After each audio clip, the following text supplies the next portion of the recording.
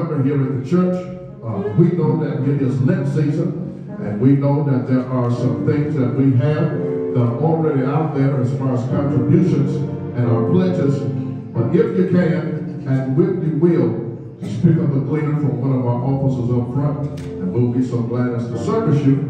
If you are on um, our YouTube or our Facebook, uh, simply call in. That is 216-795-2307.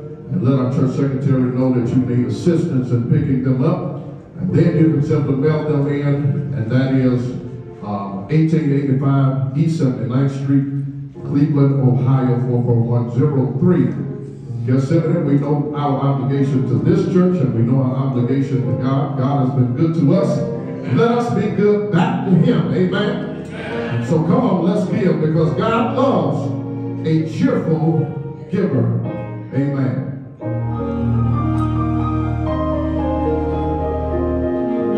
Brothers and sisters, we want to get ready real quick for our Black History moment. Amen. Brother Maestro uh, Glenn Brackens is coming. And we ask that you give him our undivided attention for our Black History moment today. Let's give him a hand as he comes. This person I'm going to talk about today is not directly connected to Gethsemane, but he is connected through Gethsemane, through the, the community. I'm going to tell you how. How many of you all go to work every day? How many of you all, or have work one once upon a time in your life. Okay. Okay, how many of you all have most time we go to work, we work full time or part time, right? Yeah. Eight hours a if you want to or part time, you work seven hours a week. It's the reason why you do that. And the why you do that is called is from a person who lived right here in our neighborhood. If you go back to 1845, John Patterson Green, which is the father of Labor Day, which lived right down here in this community. He's buried in Woodland. He wrote, he got tired of people, employees. He was a black man, a black Republican. He got tired of people just working, working, working. It wasn't no law saying how many hours we had to work. They just working, worked. If you got hurt on the job, you just got hurt. So he wrote the bill to say, I think A, people should work so many hours a day. And he wrote a bill that said, okay, we're going to work eight hours a day. It started here in Ohio, then eventually he went to the the federal government and he passed the bill. Also, that's why we celebrate Labor Day from a black man right here in our neighborhood, Senator John P. Green. Let's say it again, Senator John, John P. Green. And that is your black history moment for today.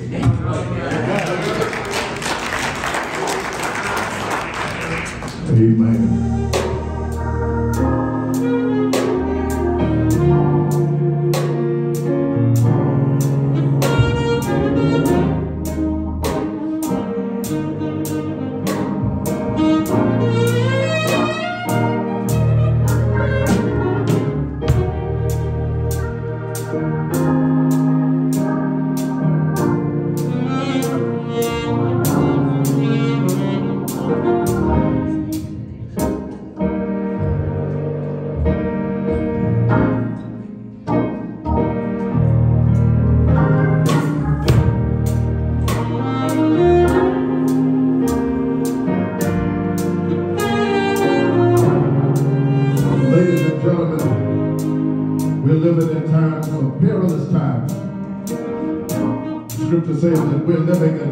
things. And it ought to be the prayer of everybody that's in this house today. Lord, whatever you do, don't do it without me. I can't get no help in this house. I said that ought to be the prayer of everybody in this house. Whatever you do, don't do it without me. This is our meditational song.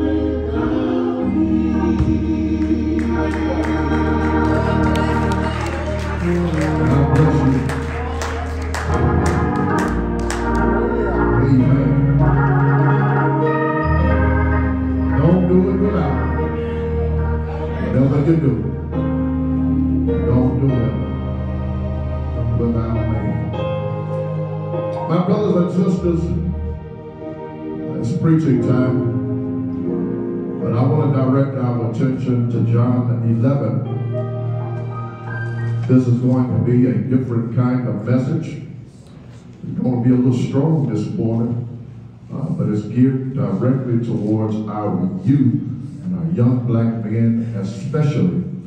Amen. And especially our black men in America today. And so we give our attention to John as we make this parallel comparison between the black man and Lazarus. We go to John 11, verse number 1, and we're going to read down through verse number 15. When you have it, say amen. amen. Now a certain man was sick named Lazarus of Bethany, the town of Mary and her sister Martha. It was that Mary which anointed the Lord with ointment and wiped his feet with her hair, whose brother Lazarus was sick. Therefore her sisters sent unto him, saying, Lord, behold, the one of whom you love us is sick. When Jesus heard that he said, This sickness is not unto death, but unto the glory of our God, that the Son of God might be glorified thereby. Now Jesus loved Martha and her sister and Lazarus. When he had heard, therefore, that he was sick, he abode two days still in the same place where he was. Then after that saith unto him, saith he unto his disciples, Let us go into Judea. Again, his disciples say unto him, Master, the Jews of late sought to stone us there. And goest thou thither again? Jesus answered, Are there not twelve hours of the day? If any man walk in the day, he stumbleth not, because he seeth the light of this world. But if a man walk in the night, he stumbleth, because there is no light in him. These things said he, and after that he said unto them, Our friend Lazarus sleepeth, but I go, that I may wake him out of his sleep. Then said his disciples, Lord, if he sleep, he shall do well. Howbeit Jesus spake of his death, but they thought that he had spoken of taking the of rest in sleep. Then said Jesus unto them, plainly, Lazarus is dead, and I am glad for your sakes that I was not there, to the intent ye may believe. Nevertheless, let us go unto him. That's good for preaching sake. Look at your neighbor left or right if you can, and you're not too antisocial this morning. Look at him and say, the pastor is to talk about Lazarus and the African American male. I need your amens, all right? Ladies and gentlemen, saints and sinners, brothers and sisters. Church, there are 40 million African Americans in this country, and they are all different in many ways. But in America's eyes, we are looked at as one thing called black. From 1619 to 1865, we were slaves from Africa. From 1866 to the early 1900s, we were coons, spooks, and colors.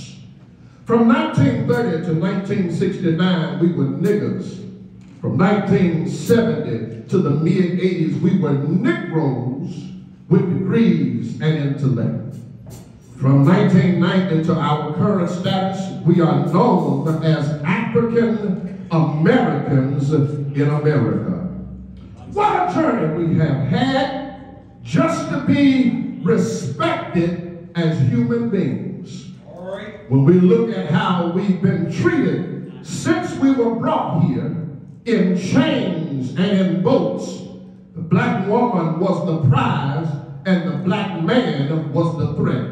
Yeah. yeah. Black man, even today, is still a threat in the world that works daily to decimate his demise. Yeah. Ladies and gentlemen, must I share with you the man talk about, this black man, everything they did to decimate him and his existence, he's still standing. Yeah. They have tried every trick in the book, but can't fathom the fact of this reality that the black man and woman are wonderfully and fearfully made by God himself. Yeah. Can I share with you this morning?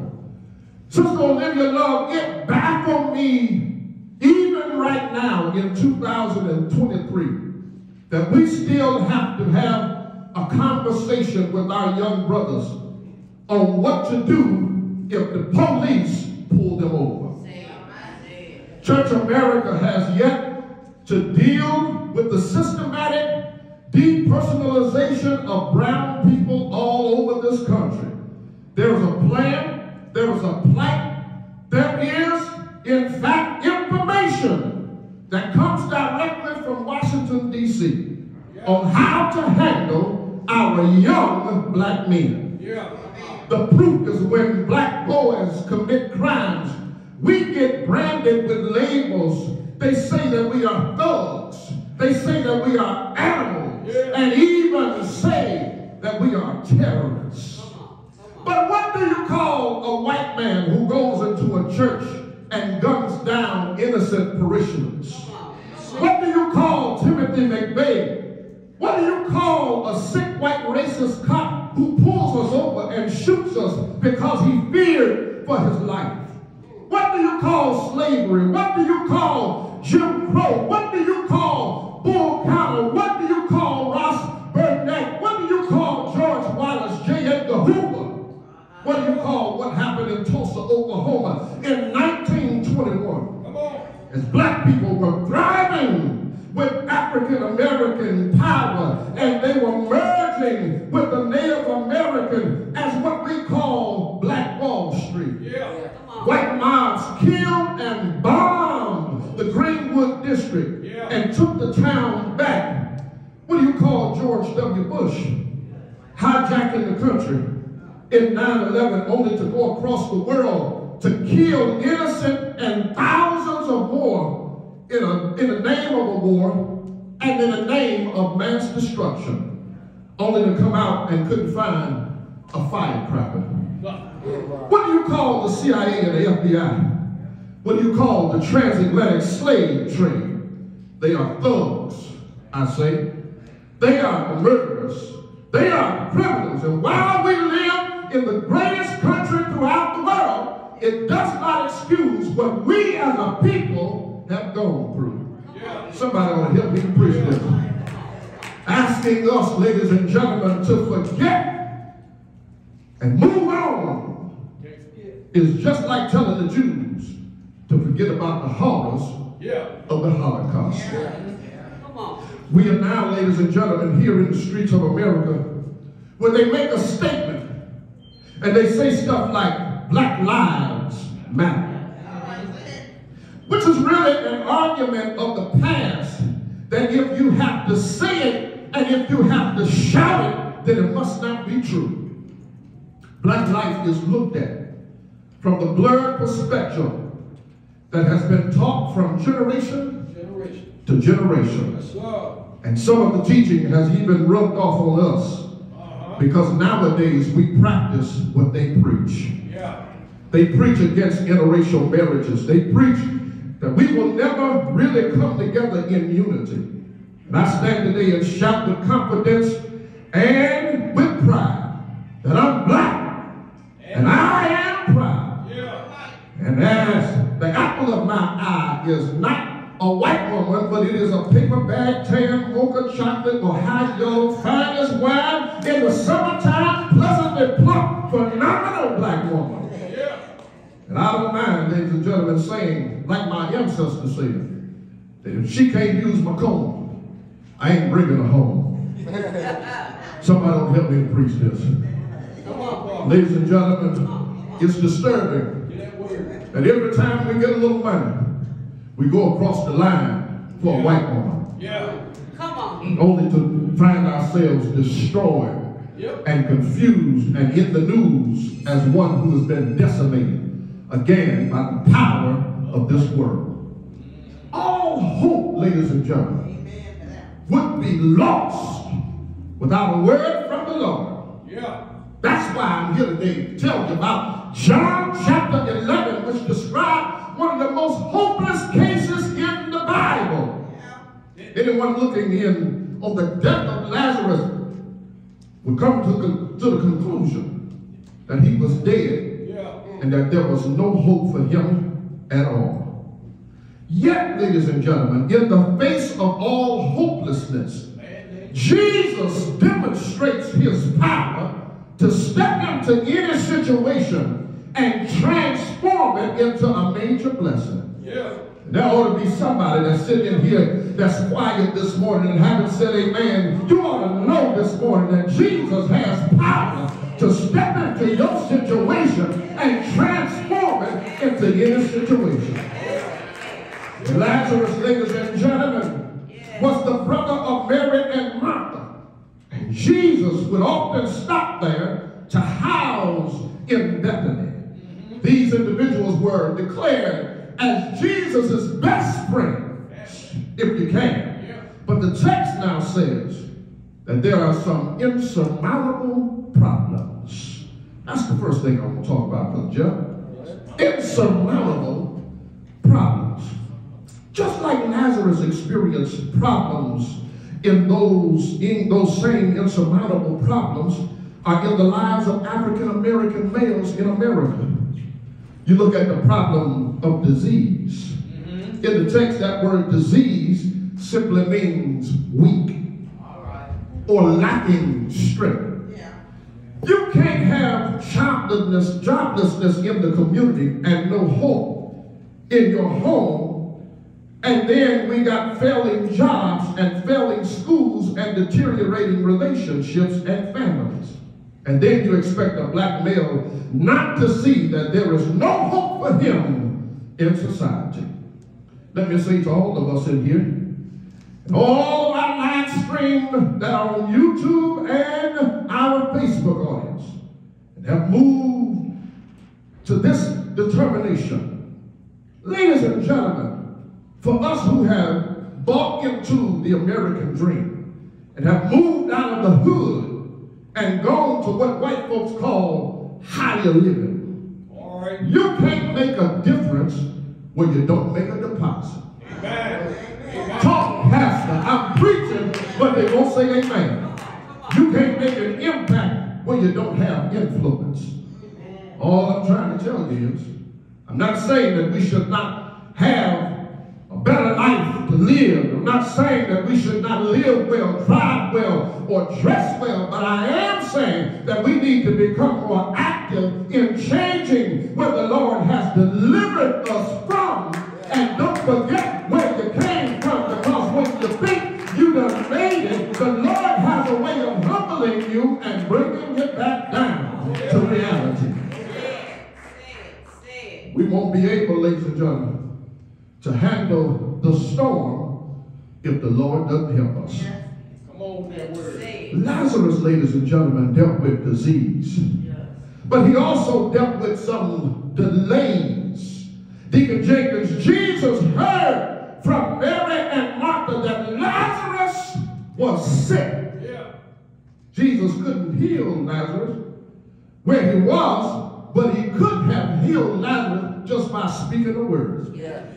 Ladies and gentlemen, there ought to be somebody in this place today. You don't need Jesus to come visit you. All you need is a word from the Lord. Here it is, ladies and gentlemen. Can I tell you? Yeah. Jesus himself, the Christ, chose to take his time Uh-huh. just to see would they trust him. Can I help you, ladies and gentlemen, that's in this place have been praying for a while for Jesus to show up in your situation? Can I share with you that Jesus sometimes chooses to take his time just to see if we're going to trust him in dark moments?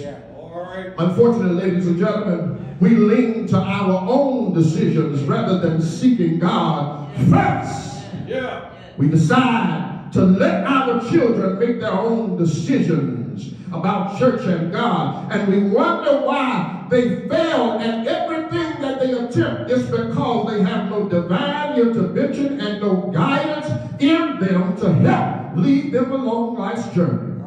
They have no infinite wisdom directing them. And we didn't have a choice when we were children to come to church because everything in the community was closed. Yeah. Me and Jeff just talked about it on yesterday. You didn't have a choice whether you were going to church or not. Ladies and gentlemen, you had to go to church. In fact, if you didn't go to church, you couldn't do nothing else in the day. Somebody ought to help me preach that right there. Ladies and gentlemen, we went to church.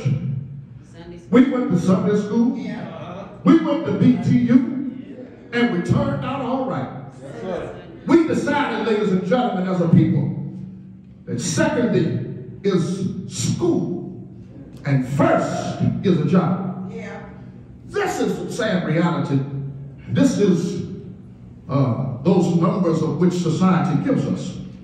65% of black males have dropped out of schools and will not return. Watch this, ladies and gentlemen. They don't know how to read. Most of our young black brothers don't know how to read on an eighth or ninth grade level. Amen. And later they find out that they needed an education just to be a janitor at McDonald's. Amen. All because of a decision that came from us. We decided, I'm not going to spank him, but I'm going to give him time out. Mm. I may understand the devil is a lie. Yeah. My mama in, in, in the 70s and 80s, she took time out to whoop my tail. There you go. Our children, ladies and gentlemen, because of the lack, don't respect authority. They don't respect their elders. They don't respect the church. They don't respect their parents. My mama told me back in the day, sister, I'm kicking your tail so the police don't have to. Right. Somebody help me to preach this. Can I share with you that's in this place? Yes, ma'am, and no, sir, can take you a long way in life. Oh, Yes. Brothers and sisters, here it is. When we look at this text, ladies and gentlemen, Lazarus dealt with disease. Yeah. He dealt with delays, but then he had to deal with an encounter called death. Yeah. Church, if we're going to argue truthfully and we're going to argue logically, then the argument must hold up on both sides of the fence. All of the killing that is going on in our community, it ain't coming from white folks. Amen. Say it, brother, say it. Wish I had some help right here. All of the killing is not coming from white cops that's riding through the hood scared. Ladies and gentlemen, we're scared. Be out at the dark, not because we're scared of white people. We're scared of Pookie and Ray Ray them. They got us scared to death. I wish I had some help in this house. Never thought that I would see in 2023, Brother Jeff, Yeah. five commonly black cops jump on an innocent man of 140 pounds and beat the hell out of him until he's dead Yeah. and then try to cover it up Come on, come on, by saying some weak excuse. come on, Ladies and gentlemen, in this place today, our young people that are in gangs, they're fighting for turf that they don't even own. Right. Come on here. Come on. Don't, don't come in my hood. Don't come on, help me to preach this. It. Can I share with y'all It came up just a few years ago with, I can't call his name, but his name is number 45. All right, I'll say it. His name is Trump. Trump said it like this. Let us make America. Come on, help me preach this, mama. Great again. Can I help you and tell you that, that what he was really saying is we want our country back. all right That's what he was saying. They don't like this kind of preaching. Yeah, that's what he was Ladies and gentlemen, but Mr. Trump, if you're listening to us this morning, if we really be honest, this land belongs to the Black Creek Indians. This land belongs to the Lakota, the Cherokee, the Sioux, the Navajo, the Comanche, and the Coshado Indians. Same way they pushed them out. They tried to annihilate and push the black male out of the way. Lazarus, brother, he dealt with disease, he dealt with delays, he dealt with death. It's not a mistake, ladies and gentlemen, and help me to listen to this. It is not a mistake that every street that is named Martin Luther King Boulevard across America is riddled and soaked with killing and crime. All in the name of a man who stood for nonviolence. But that's why, ladies and gentlemen, I took the church outside last summer, even though some of us didn't agree with it. I took the church outside to simply tell our young brothers, pull your pants up, cover your dingy drawers, to tell our young women, put some clothes on and stop getting out the bed in your pajamas and going to the store with a nasty bonnet on top of your head. I took the church outside to tell the world how to love themselves.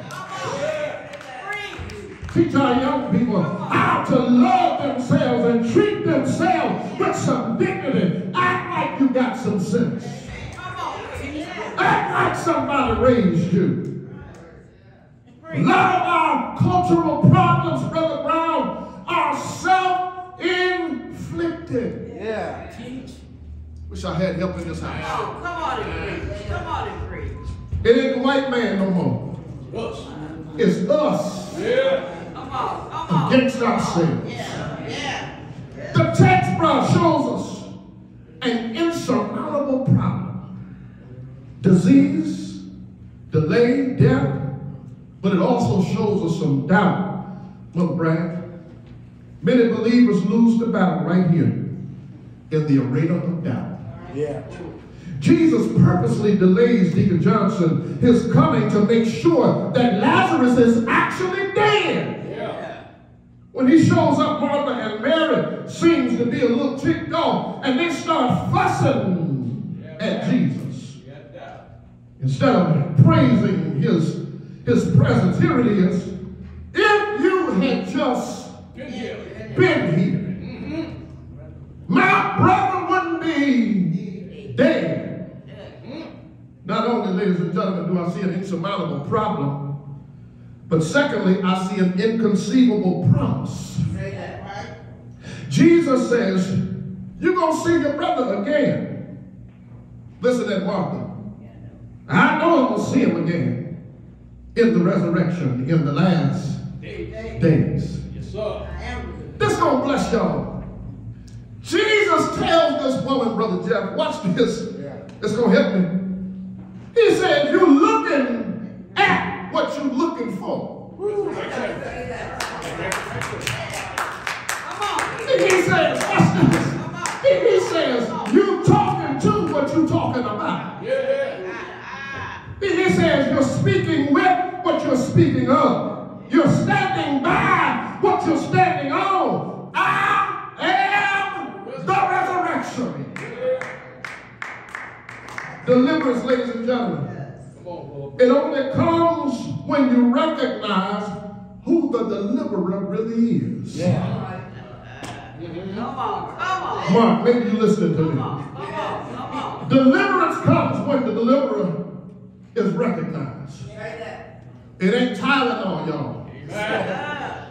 It's is Jesus. Say it, say it, say it. It, it- it ain't, it ain't that medicine called codeine and all that stuff that we're taking for pain and aches, It's Jehovah. but it's Jehovah. Wish I had some help in here.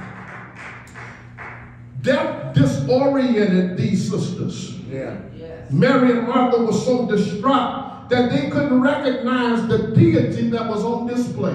All right. Focus. Ooh, Jesus. Here it is. Jesus told them, Do you believe in me? He told them, He that believeth in me, though he were dead, yet shall he live. Yeah. He that lives and believes in me shall never die. Church, he says, Martha, do you really believe this? In essence, he was telling her, stand on the promises Yeah. of Jesus, not on the promises of your problem. Church, I need to tell somebody in this place today that might be going through something. Yeah. That might be dealing with death. Yeah. You might be dealing with some doubt. You might be dealing with some kind of disease or what have you. But can I share with you there are 365 promises in the Bible. So that simply means that God gives us a promise to stand on every day of the year. Somebody missed it. Let me push rewind and wake them up and push play again. There are 365 promises in the Bible, which means that you got a promise to stand on every day of the year. Tell somebody. Look at somebody. Wake them up, welcome, because they really do need to hear this. Tell somebody the promise is greater than your problem. Amen. Come on, tell them. Come on, tell them. Even if they ain't want to say amen, tell them the promise is bigger than your problem. Watch this, ladies and gentlemen. Can I tell you why the promise is greater than your problem? Tell it. Because your problem or your promise, ladies and gentlemen, will, will lead to his power. Yeah. Wish I had All help right, all that. right, all right. Here's my last point. Here's my last point. I'm gonna let y'all go and eat some chicken. Here we go. Here we go. Not only do I see an inconceivable promise, but I see an incredible power. Somebody shout power. Jesus went to Lazarus' grave, and the scripture says he was grieved and troubled. Grieved and troubled. When you look at the Greek perspective of this text, that word grieve simply means to snort like a horse. Stop when you cry. That- that's how that's how grieved Jesus was. But he was also troubled. Why are you troubled, Jesus? Jesus is troubled because of their lack of faith. Mm-hmm. Jesus is troubled because he has to wake Lazarus up out of a good sleep. Good God Almighty. Preach, Pastor, I'm trying to. Here it is. Jesus says, roll the stone away. He says, Lazarus, come forth. This is going to blow your mind, sis. Here it is, Sister White. He commands Lazarus to do something and obey something that he cannot hear. Come on, here. He can hear. Here it is, ladies and gentlemen. He says, Lazarus, come forth. He commands Lazarus to obey something that he cannot hear. Here it is. Watch this. Lazarus is physically dead. Here it is. Until Jesus quickens him, he can't obey. Mm-hmm. But when the Lord speaks, somebody ought to know in this house Everything. that something got to happen. Yeah. Is there anybody here that knows Come on, come on. that what used to be dead, when Jesus speaks, Yes. has to come alive? Yes. Oh, brothers and sisters, there used to be some dead people in this house. Yeah. Somebody still ain't called it. But the Lord said, come forth. Yeah. You got up from lying. You got up from sick living. You got up from stealing. You got up from drinking and driving. You got up, ladies and gentlemen, from living a life of sin. All because Jesus said, come forth. I'm almost there, brother. I know I'm at my limit.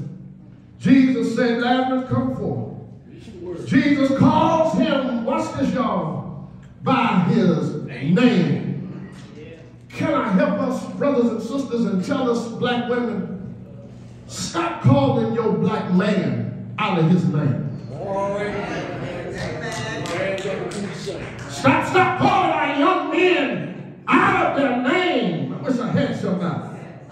Because eventually what we're teaching them is to answer what you're calling them. In essence, ladies and gentlemen, if you say they're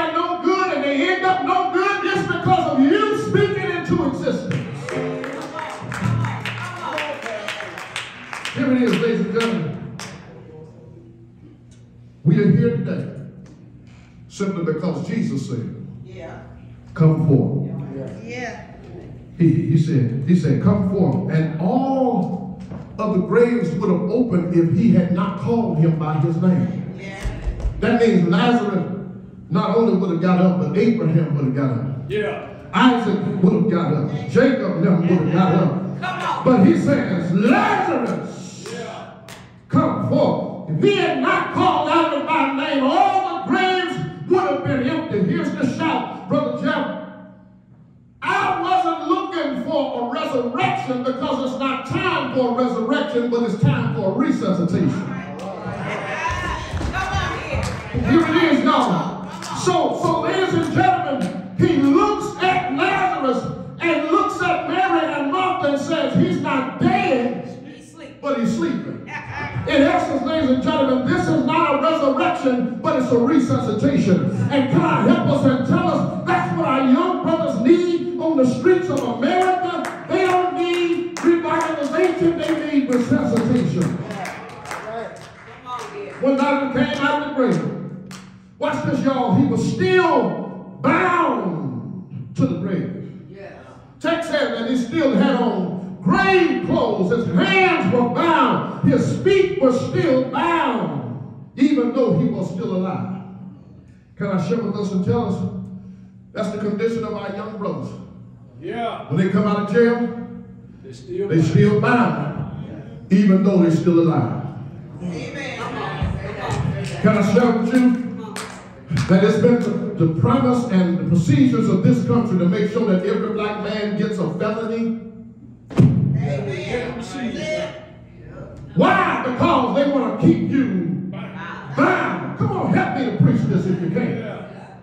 Here it is, ladies and gentlemen. When you're bound, you can't do nothing for him. You can't do nothing for him if your feet are bound. You can't go running and telling what the world has, what the Lord has done for you. You can't give him praise if your hands are bound. Maybe that's what's wrong with church folk in this society that don't like to give God any praise. It's because they are bound. But I come to free you today and tell you this morning, them same hand that you won't use, God will make you use them to give him some praise. Wish I had some help in this house. The same feet that you won't use, God will make you use them to give him some praise. Here it is, ladies and gentlemen. Black men are alive, but they are bound in some kind of way. They got dope charges, they got gun charges, they got, they're bound by women who are crazy as all get out. They're bound by a situation that they put themselves in. Black men in the country today, not all of us, but most of us are bound. Ladies and gentlemen, I'm getting there. Here's the shouting spot. When you look in the text, look at chapter 12 in this next chapter. Jesus is invited to dinner. And the Bible says Lazarus is not only dead, but he's alive and he's at the dinner table too. Y'all missed it. Let me back it up and give it to you. Jesus is invited to dinner in chapter number 12, and the Bible says that Lazarus is at the dinner table too. The scripture says, ladies and gentlemen, people came to see Jesus, but they also came to see Lazarus who was raised from the dead. Y'all missed it, so let me get ready to play my favorite song, Brother Glenn. Somebody is here today. You came not just to see Jesus, but you came to bear witness of some saints who used to be dead, but they're alive forevermore. I wish I had somebody. If the Lord has been good to you and he called you from darkness into the marvelous light, I just dare somebody to give him some praise. If the Lord has picked you up and turned you around and put your feet on a solid ground, you ought to give him some praise. I want to help somebody and tell you that you ought to look at your neighbor and say, I once was lost,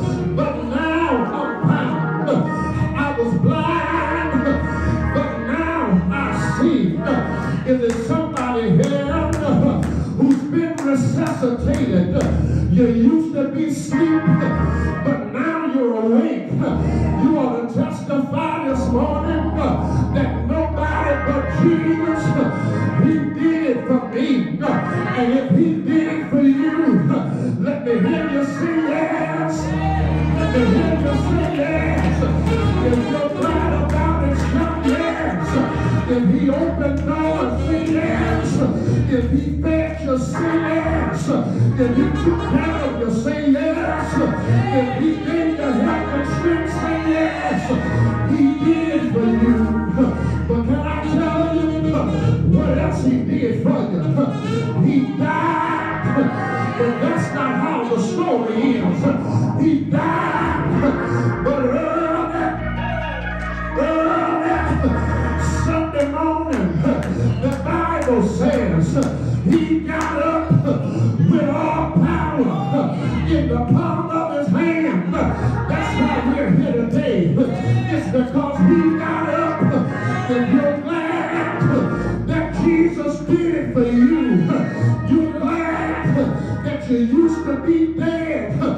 but you